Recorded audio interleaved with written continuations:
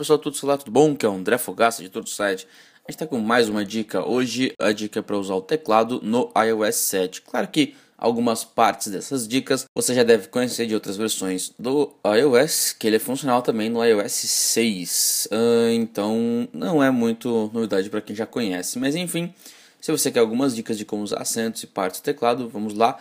Uh, primeiro você precisa tocar em ajustes, uh, descer em geral e depois tocar em teclado. Uh, ah, para a primeira é bom certificar que essa parte de teclado dividido está ativa. Então certifique aí, se não tiver ativa, se não tiver ativa, é só ligar.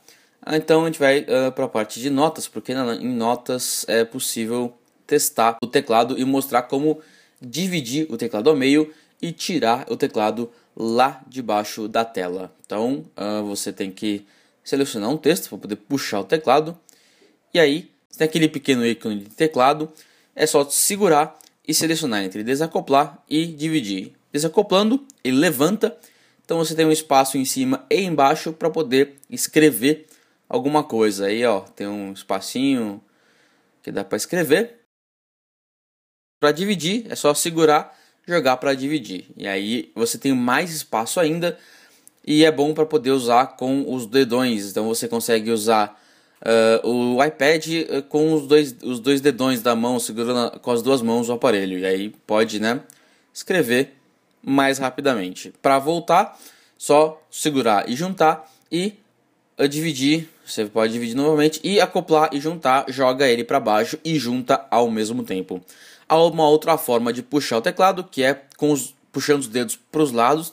Então você põe os dois dedões, sei lá, no, no meio do teclado e puxa para as laterais e ele abre, como você acabou de ver. Uma outra forma uh, de, de mudança no teclado que a, a, a Apple colocou acontece num aplicativo de tweet. Então, abrir aqui o Tweetbot e você pode ver que ele uh, adicionou o arroba e o hashtag lá no cantinho para poder mencionar alguém ou então para usar uma hashtag. Então, é só tocar no arroba, começar a escrever o nome do usuário que você quer mencionar e o hashtag o sustenido e usar a hashtag que você quer. Então tem o aí, hashtag chateado. E essa é uma das formas que o teclado altera uh, o layout para poder entrar num, num aplicativo específico.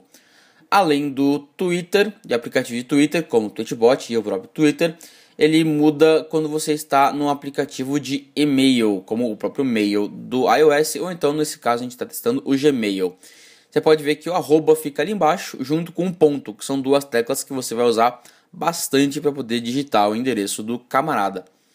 Então aqui eu posso escrever Steve Jobs, arroba, o arroba tá ali já.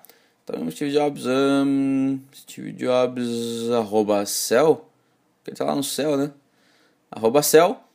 E para colocar .com.br aí, ó, você só segurar o ponto e ele libera as, as terminações mais comuns que são utilizadas. Então, .net, .org, .br, .com, então .cel.br. Essa é uma dica que já existia no iOS anterior, que é para utilizar acentos, como você utiliza acentos no, na, na, te, na tecla. Então, é só tocar na palavra que você quer por mais de um segundo e aí você tem uma opção a, a lista de acentos já tem e até em idioma que não é o seu. Por exemplo, aquele o cruzadinho ali, o CO, CE, aí uh, o N para espanhol, por exemplo, escrever ninho, aí você precisa desse N.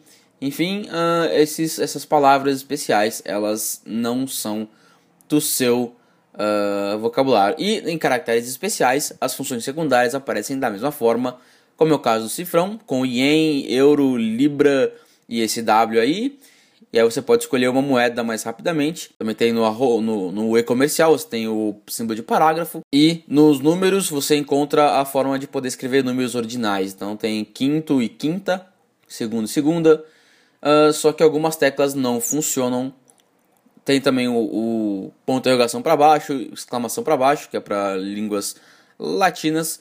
E o, algumas teclas não funcionam, como é o caso do parênteses. Você não tem uma função secundária no parênteses e também no arroba. Essa função não existe. E uma outra forma é, que, é, que é de troca rápida de teclado é você escreve e Olá, tudo bem? E segura o ABC, eh, segura 1, 2, 3 e joga até o ponto de exclamação. Então, Uh, e o mesmo acontece ao contrário, se eu quiser escrever um 1, 2, 3, 4, 5, V, é só segurar o, o ABC ali e jogar pro a tecla que você quer.